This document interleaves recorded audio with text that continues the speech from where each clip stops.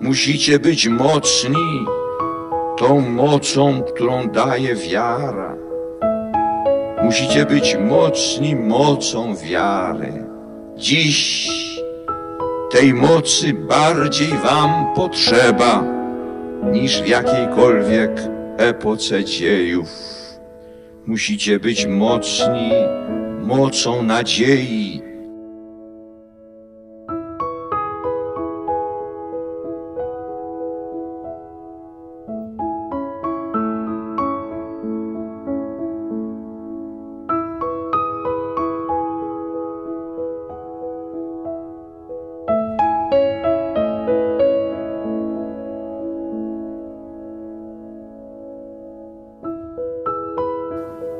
Ja, syn polskiej ziemi, a zarazem ja, Jan Paweł II papież.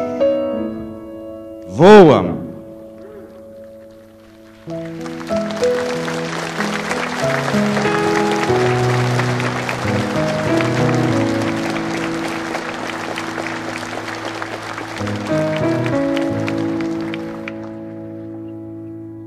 z całej głębi tego tysiąclecia wołam w przeddzień święta zesłania.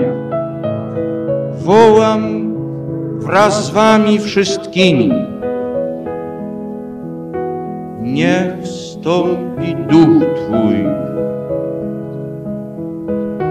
Niech stąpi duch Twój i odnowi oblicze ziemi, tej ziemi. Amen.